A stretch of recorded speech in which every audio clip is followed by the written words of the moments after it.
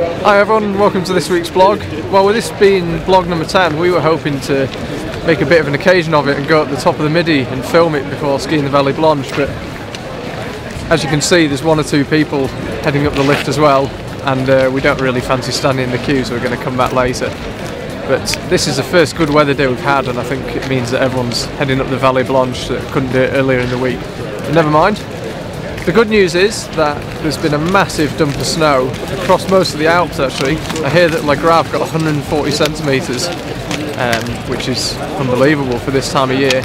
And we didn't uh, get quite that much, but we've got a lot of fresh snow. And for the last few days, basically the last week, I've been skiing the lifts. Haven't needed to skin, haven't needed to do anything. There's been powder absolutely everywhere.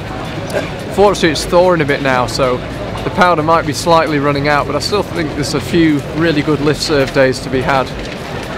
As with the rest of winter, the weather is really poor. It's coming and going, good day, bad day, bit of both days. And so it's just a case of chasing the weather and chasing the good snow.